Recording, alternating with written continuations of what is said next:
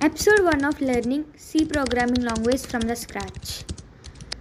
There are three types of languages high level language, mid level language, low level language.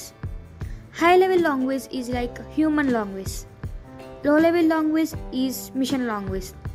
The interlinking language between high level and low level is mid level language, which are C, C, Java, and etc.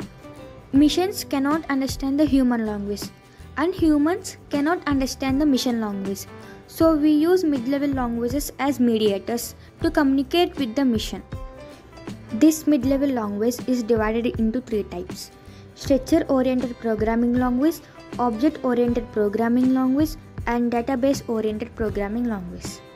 What is structure oriented programming language? It is basic and examples are like COBOL, Pascal, etc. It is very less secure and the problems are very easy to solve. The next one is object oriented programming language. What is object oriented programming language? Uh, examples of object oriented programming languages are C, Java, and etc. It is, it is secure and the problems are very complex to solve. And the last one is database programming language. Examples of database programming languages are MS Access, MySQL, etc.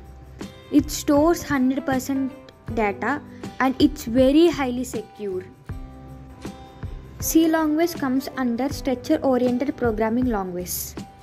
C language was introduced in 1972 by Dennis Ritchie.